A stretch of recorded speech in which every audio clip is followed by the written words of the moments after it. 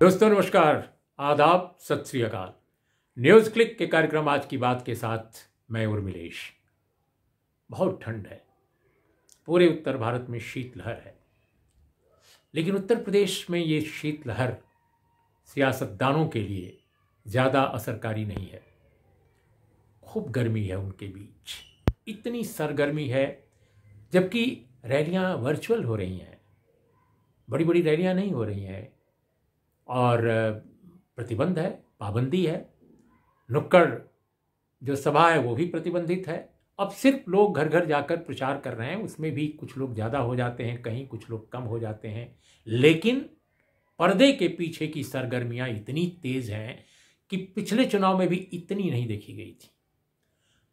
Political parties, मैं party की बात नहीं कर रहा हूँ, पार्टीज़ यानी कई राजनीतिक दल, जो बड़े दल हैं, वो अपने अपने गेम प्लान के साथ तरह तरह की गतिविधियों में शामिल हैं। और ज़ाहिर है, भारतीय जनता पार्टी देश की सबसे बड़ी पार्टी है, विश्व की सबसे बड़ी पार्टी है। उसके जो गेम प्लान है, वो बड़े दिलचस्प हैं। अभी सबका खुलासा नहीं हुआ है। तो आज हम बात करेंगे उत्तर प्रदेश की सियासत से उभरते हुए सवालों पर। उत्तर प्रदेश का जो चुनावी समर है वो इस शीत लहर में भी कितना सरगर्म है और क्यों है? इस पर हम सिलसिलेवार बात करेंगे भविष्य में भी, लेकिन आज हमारी बातचीत पूरी तरह केंद्रित रहेगी। अपर्णा यादव और आज़ाद साहब पर, यानी अपर्णा और आज़ाद, दोनों अलग अलग धारा के अलग अलग लोग। लेकिन दोनों कैसे उत्तर प्रदेश की सियासत में अचानक एक नाम बन गए हैं अचानक उभर गए हैं अचानक इनको लेकर राजनीतिक सरगर्मियाँ तेज हो गई हैं।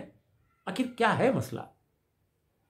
चंद्रशेखर आज़ाद तो पहले से भी काफ़ी सक्रिय रहे हैं तीन चार साल से राजनीति में हैं। 2017 में वो राजनीति में एक एक एक, एक बड़ा हादसा एपिसोड हुआ था बल्कि एक कांड हुआ था जिस पर दलित उत्पीड़न का भयानक कांड था। उससे वो खबर में आए थे फिर वो गिरफ़्तार हो गए। काफ़ी दिन तक वो जेल में रहे और फिर राष्ट्रीय सुरक्षा कानून के तहत रहे। लेकिन आलाप सडन राष्ट्रीय सुरक्षा कानून हट गया और फिर वो आए बाहर। और इसके बाद लोगों ने देखा कि बड़े बड़े कन्वाय के साथ वो वो घूमने लगे। लोगों के बीच जहाँ भी उत्पीड़न होता था, वो वहाँ पहुँच जाते थे। अपने खास अंदाज में वो पेश आए। मूछ को काफ़ी वो मूछ पर कई बार अपना हाथ रखते थे। और बोलने का भी उनका अंदाज बड़ा दिलचस्प था। हालाँकि उसमें वैचारिकता की कमी थी। उनके उनके भाषणों को अगर आप देखिए तो वो कांशीराम की तरह नहीं थे। वो अन्य जो दलित नेता हैं, उनकी भी तरह नहीं, अभी भी नहीं है।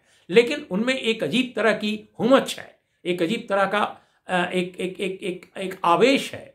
और वो उनके बहुत सारे नौजवान समर्थकों को अच्छा लगता है। और बड़ी बड़ी गाड़ियों के साथ वो बड़े बड़े काफिले में चलते हैं। तो बहुत ही एक दिलचस्प शख्सियत के स्वामी हैं, मालिक हैं चंद्रशेखर आज़ाद। पहले वो चंद्रशेखर रावण अपने को कहते थे, लेकिन अब चंद्रशेखर आज़ाद कहने लगे हैं। और उन्होंने आज़ाद समाज पार्टी बना ली है। तो भीम आर्मी उनका एक सामाजिक संगठन है और राजनीतिक पार्टी आज़ाद समाज पार्टी है। अभी पिछले दिनों, अभी इस चुनाव से पहले आपको बता दूँ कि सिर्फ़ इसी चुनाव में वो नहीं कूदे हैं। इसके पहले जबकि बिहार में उनका कोई राजनीतिक आधार नहीं। शायद ही कभी बिहार में कोई बड़ा उन्होंने कार्यक्रम भी किया हो चुनाव से पहले, लेकिन पिछले बिहार के चुनाव में वो बकायदे वहाँ पर लड़ गए। उनकी पार्टी के लोग भी लड़े और उन्होंने गठबंधन भी किया, किसी छोटी पार्टी से किया, जो ओरिजिनल पार्टी है। और मज़े की बात है कि जो बड़ा राजनीतिक गठबंधन वहाँ था विपक्ष का, बीजेपी को हराने की स्थिति में जो, जिसे माना जा रहा था, यानी सेकंड नंबर पर या अल्टरनेटिव के तौर पे उससे उन्होंने कोई बातचीत नहीं कर, न करके उन्होंने एक छोटे एक ग्रुप के साथ अपने को मिलाया और वहाँ पर लड़े। अब बहुत सारे लोगों का कहना था कि वहाँ पर उन्होंने जो दलित समाज के वोटों में बंटवारा किया, उसका भी इनडायरेक्ट फ़ायदा बीजेपी को मिला। मैं नहीं जानता कि उत्तर प्रदेश में क्या स्थिति है, ये तो अभी कहना बिल्कुल मुश्किल है।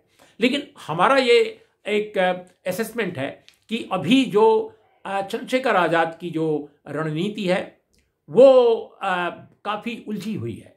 अब उदाहरण के तौर पे चुनाव में गठबंधन की जब प्रक्रिया शुरू हुई है तो इसके पहले ये पता चला कि उनका अखिलेश यादव के गठबंधन से, यानी जो आरएलडी और दूसरे और जो दल है, ओम प्रकाश राजभर का दल है, इस गठबंधन के नेताओं से बातचीत चल रही थी। और बातचीत के दरमियान क्या कुछ उभर के आ रहा था, इसका खुलासा नहीं हुआ था। अभी चंद्रशेखर आज़ाद ने पिछले दिनों खुलासा किया कि अब वो गठबंधन नहीं करेंगे। क्यों? क्योंकि अखिलेश यादव ने उनका अपमान किया है। क्या अपमान किया है? उन्होंने कहा कि पाँच सीट वो मांग रहे थे और इस पर सहमति बननी चाहिए थी या बन गई थी भविष्य में, अतीत में। लेकिन अब वो कह रहे हैं कि दो या तीन सीट केवल देंगे।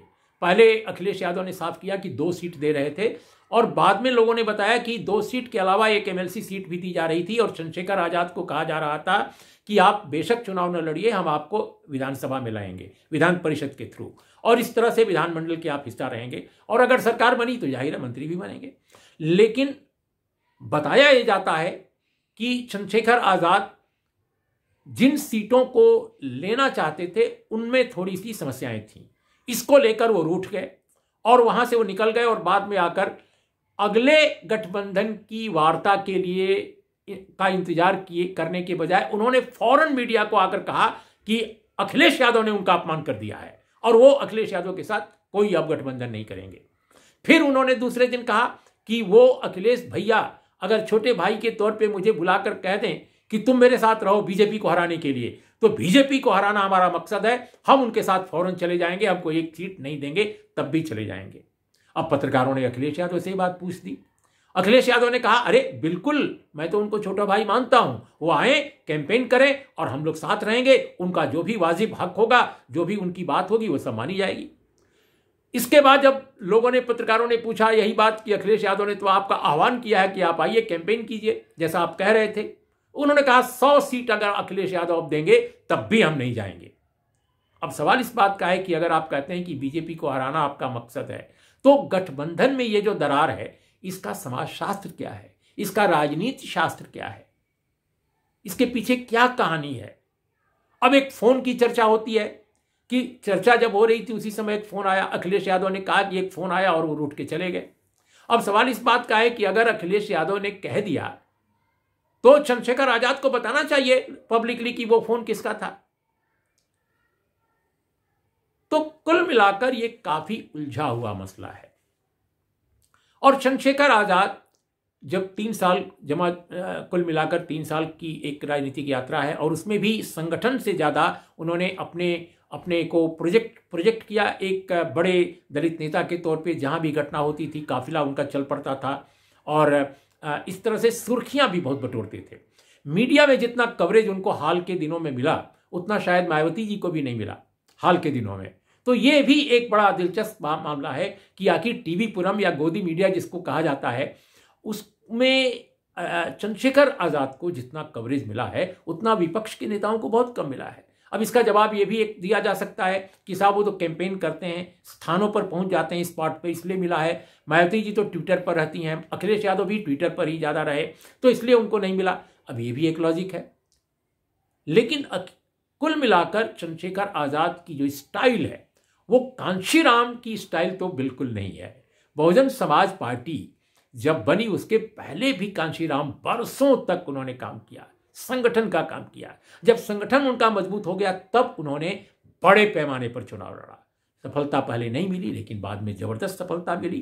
कांशीराम तो स्वयं छत्तीसगढ़ से हार गए। जांजगीर से उन्होंने चुनाव लड़ा पहला और उसमें हार गए, लेकिन वो निराश नहीं हुए। लेकिन चंद्रशेखर आज़ाद एक चुनाव उत्तर प्रदेश का लड़े बगैर कह रहे हैं कि आप हमको इतनी सीट दीजिए। कुछ लोग तो कहते हैं कि वो उनका इरादा ये भी था कि उनको जीतने के बाद अगर सरकार बनती है तो डिप्टी चीफ मिनिस्टर बनाया जाए। इसकी मैं कोई प्रामाणिकता मेरे पास नहीं है, लेकिन ये अटकलें हैं। इस पर भी काफ़ी कुछ कहा गया है। तो हमारा ये कहना है कि ऐसी स्थिति में एक लंबे समय तक संगठन को मज़बूत करके और बहुजन आबादियों को एकजुट करके चुनाव मैदान में उतरने के बजाय आखिर आप अखिलेश यादव या किसी भी नेता से सिर्फ़ कुछ सीटों को लेकर जो तालमेल का मसला है, उस पर अपमान सम्मान का मामला क्यों आप देख रहे हैं? एक बड़ा सवाल उठता है, खासकर ऐसे नेता की राजनीति को लेकर जो दावा करता है कि वो कांशीराम जी के बाद जो बहुजन समाज पार्टी बिखर गई है, उसमें एक विकल्प उभर रहा है। आप मायावती जी से भी बात नहीं करते कि आप उनके साथ अलायंस में चले जाएँ, सब एकजुट हो जाएँ तो कुल मिलाकर काफ़ी दिलचस्प ये पूरा का पूरा राजनीतिक इनका एजेंडा नज़र आता है या राजनीतिक जो सोच है, राजनीतिक जो रणनीति है चंद्रशेखर आज़ाद की। अब देखना होगा कि आगे ये क्या करते हैं। और दूसरा जो पहलू आज मैं डिस्कस करना चाहता था दोस्तों, वो आज़ाद साहब चूँकि एक बड़े नेता हैं तो उनको मैंने पहले लिया। लेकिन अपर्णा यादव काफ़ी दिलचस्प शख्सियत हैं, इसलिए कि वो मुलायम सिंह यादव की बहू हैं। उनकी पुत्र वधु हैं। उनके उनके एक अखिलेश यादव के अलावा जो दूसरे पुत्र हैं प्रतीक, उनकी वो पत्नी हैं। और दिलचस्प ये भी उनके साथ है कि वो उत्तराखंड से उनकी उनकी पृष्ठभूमि है। तो वो, उनका पहले जो नाम था, वो अपर्णा बिष्ट था। और अपर्णा बिष्ट, अपर्णा यादव हो गई तो अपर्णा बिष्ट यादव हो गई। अब, योगी महाराज की सत्ता जब आई, सरकार आई तो उसी समय से देखा गया कि अपर्णा यादव आदित्यनाथ जी को निमंत्रित करके और कई अपने कार्यक्रमों में ले गई। कहीं गौशाला या इस तरह का कोई कार्यक्रम उनका था, वहाँ भी वो ले गई और योगी जी ने काफ़ी उनकी तारीफ़ की। तो एक अटकलें लगाई जा रही थी कि क्या मुलायम सिंह की जो पुत्र वधु हैं, जो जिनके बारे में कहा जाता है कि बहुत महत्वाकांक्षी हैं बहुत ही महत्वाकांक्षी हैं। तो ये क्या सही है कि वो सियासत में जाएँगी? इसको लेकर अटकलें लगाई जा रही थी। तो इस बीच में दोस्तों काफ़ी कुछ होता रहा घर में और बताया जाता है कि मुलायम सिंह यादव, अखिलेश यादव दोनों ने समझाया कि आपको ऐसा नहीं करना चाहिए, लेकिन वो आमादा थी कि वो जाएँगी ही और हर हालत में जाएँगी। अब ये कोई नहीं जानता कि ये परिवार के अंदर कोई अंडरस्टैंडिंग है सेटिंग है, किसी खास वजह से या अपर्णा यादव के अपने निजी जो पारिवारिक यूनिट है, मायका है और उनकी ससुराल है तो इनका दोनों का कोई खास दूसरा और राजनीतिक कोई वजह है, कारण है या क्या है, कोई नहीं जानता। लेकिन भारतीय जनता पार्टी में आज वो शामिल हो गई और बड़े दिग्गज नेताओं की उपस्थिति में, कोई बीजेपी में बड़ा नेता नहीं था प्रधानमंत्री जी अमित शाह जी को छोड़कर। जितने बड़े नेता हैं उत्तर प्रदेश से संबंधित या राष्ट्रीय राजनीति से संबंधित बहुत सारे नेता मौजूद थे। तो ऐसी स्थिति में उनको काफ़ी भाव दिया गया जो आज तक राजनीति में कभी नहीं थी। और आ, आ, अब सवाल इस बात का है कि इंटरप्रिटेशन जो उत्तर प्रदेश की सियासत को समझने वाले लोग हैं मैंने कई लोगों से इस पर बात की। दोस्तों मैं जब भी आपके सामने बात करता हूँ तो मैं ज़रूर बोलता हूँ लेकिन केवल मेरी ये बात नहीं होती है। मैं तमाम एक्सपर्ट से बात करता हूँ आपके सामने आने से पहले और उनकी भी उनके जो ऑब्जर्वेशन हैं, उनकी रोशनी में अपनी एनालिसिस आपके सामने पेश करता हूँ। तो मेरी जो सोच है और मेरा जो ऑब्जर्वेशन है और मुझे जो फीडबैक मिला उत्तर प्रदेश के बहुत सारे एक्सपर्ट से, वो ये कि अपर्णा यादव को बीजेपी में शामिल होने से फ़ायदा मिलेगा। टिकट मिल सकता है एमएलए भी बन सकती हैं अगर जीत गई तो। लेकिन जितना फ़ायदा अपर्णा यादव को मिलेगा, अपर्णा बिष्ट यादव, उतना फ़ायदा भारतीय जनता पार्टी को हरगिज नहीं मिलने वाला है। क्यों? क्योंकि समाजवादी पार्टी का जो जनाधार है, जो वोट बैंक है, उसमें अपर्णा यादव की कोई सेंध नहीं है। इसलिए नहीं सेंध वो लगा सकती हैं, क्योंकि एक तो वो अराजनीतिक व्यक्तित्व हैं और दूसरी बात कि उनकी जो सामाजिकता है, उनका जो पूरा का पूरा दायरा रहा है, उसका इस पार्टी के खासकर मुलायम सिंह यादव जब से राजनीति में सक्रिय हुए थे। उससे और आज अखिलेश यादव जो उनके उत्तराधिकारी माने जाते हैं इस पार्टी में, इसका जो लंबा सफ़र है, इससे उनका कोई कनेक्ट नहीं है। तो इसलिए उनका कोई फ़र्क नहीं पड़ेगा। लेकिन ये गेम प्लान तो है। अगर आपने उनकी पार्टी के बड़े बड़े नेताओं को तोड़ा, स्वामी प्रसाद मौर्य वगैरह आए इतने बड़े बड़े नेता तो बीजेपी भी दिखाना चाहती है कि लीजिए जी हम आपके घर को तोड़ दिए। अब आपके घर को तोड़ने से सियासत पर कितना असर पड़ेगा सपा का यह कहना कठिन है। लेकिन हाँ, कुछ तो चल रहा है। अब ये खेल क्या है, आगे और क्या क्या खेल होना है, ये हम आपको बताते रहेंगे दोस्तों। आज सिर्फ़ इतना ही। नमस्कार, आदाब, सत श्री अकाल।